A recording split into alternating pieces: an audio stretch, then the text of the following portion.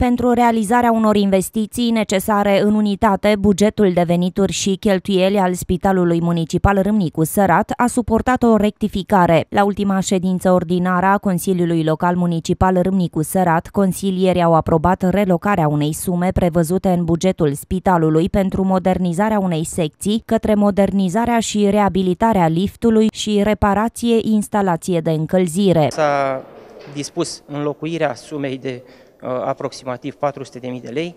Uh, practic s-a mutat această sumă de la modernizarea unei uh, secții a spitalului către uh, modernizarea uh, liftului din cadrul spitalului și de asemenea instalației de încălzire, instalații ce necesitau Uh, anumite uh, reparații capitale. Lucrările de reparații sunt absolut necesare unității medicale. Am aprobat rectificarea la spital pentru că era, nu s-au dat bani la spital, ci din banii care aveau alocat spitalul, se mută de la o, o lucrare la alta. Vor să modernizeze lifturile.